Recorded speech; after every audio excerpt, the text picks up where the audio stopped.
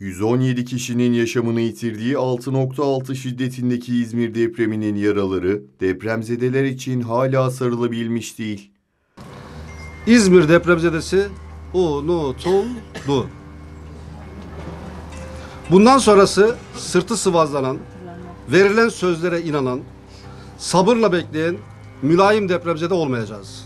Apartman görevlisi olarak kaldığı evde depreme yakalanan Remziye Yalur, yüksek kiralardan dolayı hasarlı evlerde oturmak zorunda kaldıklarını anlattı.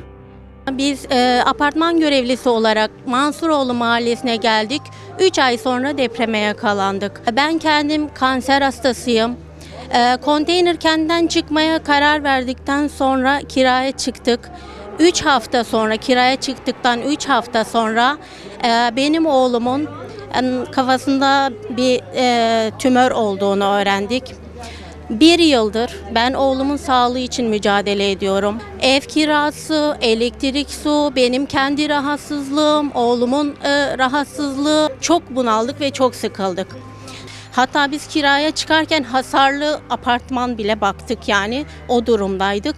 Gerçekten korkularımız devam ediyor ve şu anda benim oturduğum yer 30-40 senelik. Evi yıkılan Seyhan Öztürk ise 50 yıllık bir binada kalmaya devam ettiğini söyleyerek çözüm çağrısı yaptı.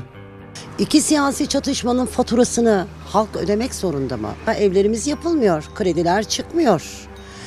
Müteahhitler bizden 1 trilyon 250 bin lira para istiyor ve bizim ödeme şansımız ve gücümüz zaten hiç yok.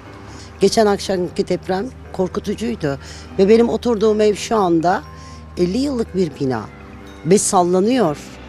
Yani insanların ölmesi mi gerekiyor bir dahaki depremde? Yüz binler insan mı ölüp altında kalması mı gerekiyor ki gerçekten gelip mağduriyet giderilmesi için?